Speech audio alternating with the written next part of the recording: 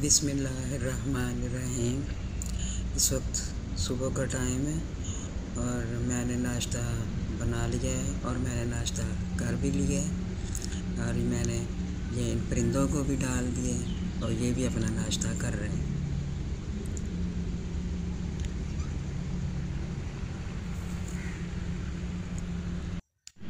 अब मैं अपना काम शुरू करूँगी।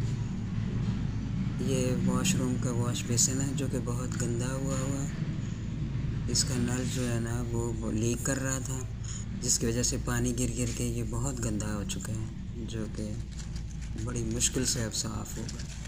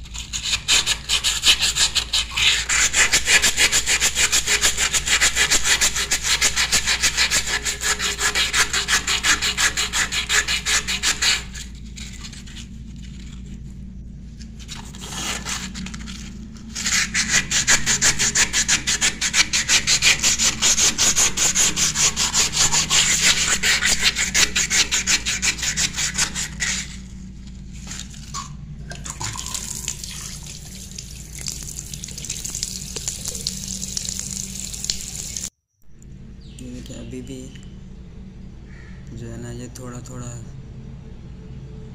साफ़ हुआ है ज़्यादा अच्छी तरह से साफ़ नहीं हुआ है। इसको एक दफ़ा फिर दोबारा धोना पड़ेगा जिसको मैं तेज़ाब के साथ इसको धोऊँगी अच्छी तरह से जिससे ये बिल्कुल साफ़ हो जाएगा।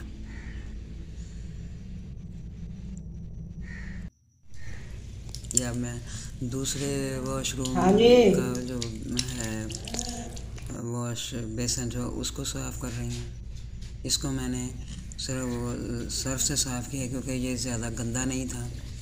इसलिए ये सिर्फ़ सर्फ लगाने से ही साफ़ हो गया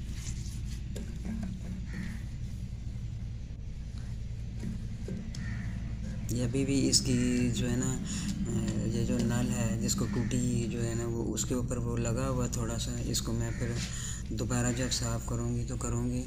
अभी जो है ना ये सही अच्छी तरह से साफ़ नहीं हुआ इसको दोबारा एक दफ़ा साफ़ करना पड़ेगा, जिसको मैं वो तेज़ाब लगा के करूँगी। दोबारा जब खाना मिलेगा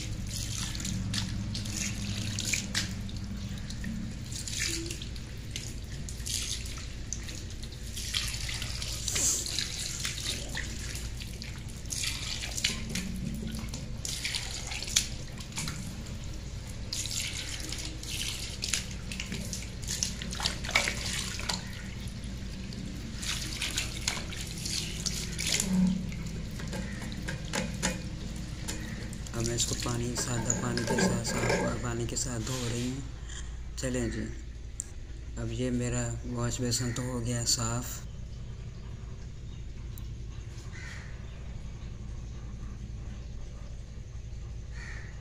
अब बहुत ज़्यादा अच्छी तरह से साफ़ हो गया, लेकिन मैं फिर इसको एक दफ़ा दोबारा धोऊँगी।